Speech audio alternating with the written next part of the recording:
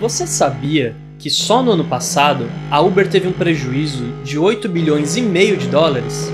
Como não existe almoço grátis, em breve a gente vai pagar essa fatura. E bem caro.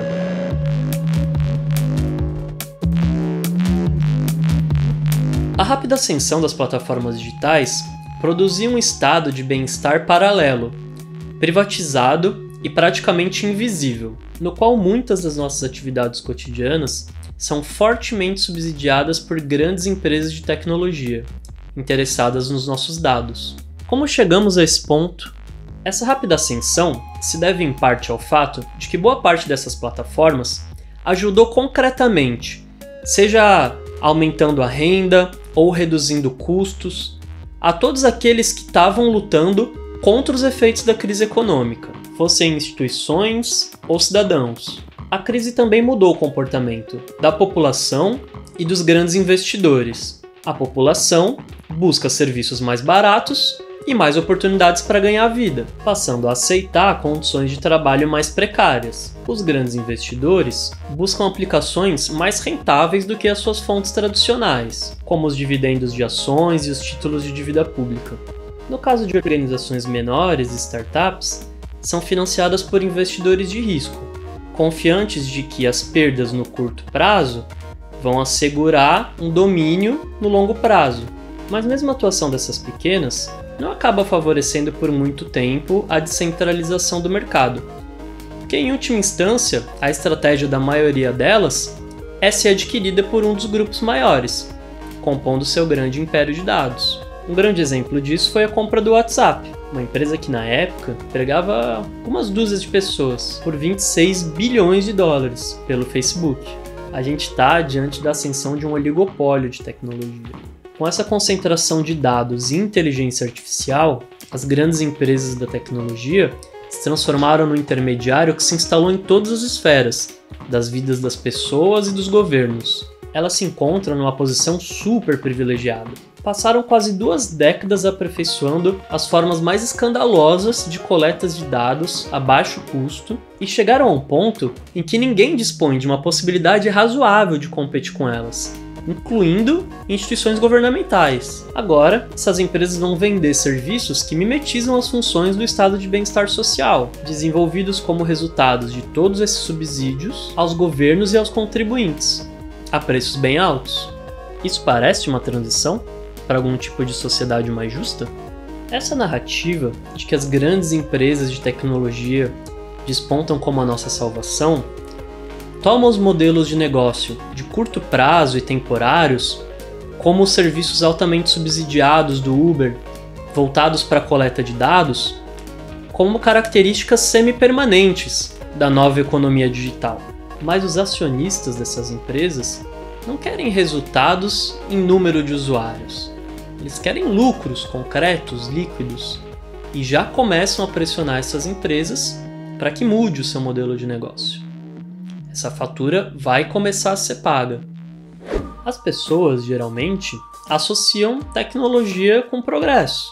Concluem que qualquer desvio do atual sistema capitalista vai necessariamente levar para um sistema melhor e mais benéfico aos pobres, como se necessariamente a tecnologia fosse desestabilizar e não consolidar as atuais hierarquias de poder.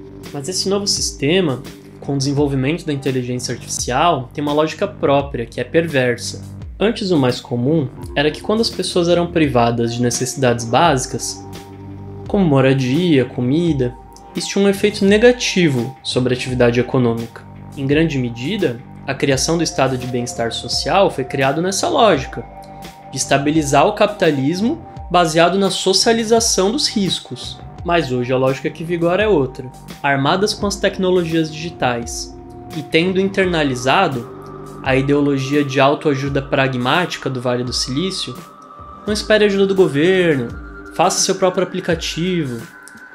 As pessoas têm que se mostrado cada vez mais criativas para resolver os seus próprios problemas. E quanto pior a condição de vida da pessoa, mais criativa. É o exemplo do sujeito que pega uma bike emprestada do Itaú para fazer um rap.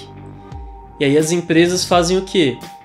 estão de olho no que essas pessoas estão fazendo, capturam essa criatividade, transformam num novo aplicativo. Nessa nova realidade, chamada de pós-capitalista pelo Vale do Silício, é assim que se propõe resolver o problema da pobreza. Mas se ainda assim for muito grande a desigualdade e a miséria, já se discute também outras formas mais radicais, diríamos, de resolver o problema. O que um setor mais avançado da Big Tech já está propondo é a criação de uma renda básica universal. Ela é apresentada como um tipo de recompensa, por um lado, pela automação, que gerou muito desemprego, e por outro lado, como uma recompensa pela extração de dados que foi feita e também acaba sendo uma justificativa para que essa extração continue. Acontece que, como a gente viu, existe uma dinâmica de que esses serviços digitais se transformaram em serviços essenciais para todo mundo hoje. Eles passem de serviços que são pagos hoje apenas com dados para serviços que são pagos com dados e com dinheiro. Isso faz com que, nesse cenário, a criação desse programa de renda básica universal seja, no final das contas, um grande subsídio secreto para os próprios rentistas que estão por trás desses grandes aplicativos. Em certo sentido, parece ter traços de feudalismo aí, né?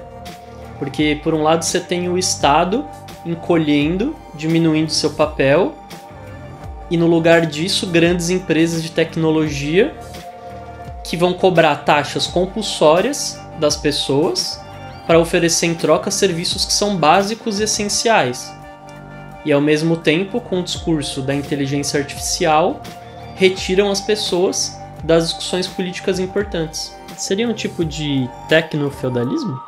Afinal, de que adianta ter uma renda básica se no final ela acabar sendo toda consumida por serviços básicos? Você acha que é exagero? Como você imagina o futuro dominado pelas gigantes da tecnologia? No episódio que vem, vamos falar sobre cinco tendências da atual sociedade digital extrativismo de dados, mediação digital, consenso algorítmico, emancipação predatória e tecnotopia. Um abraço e até a próxima!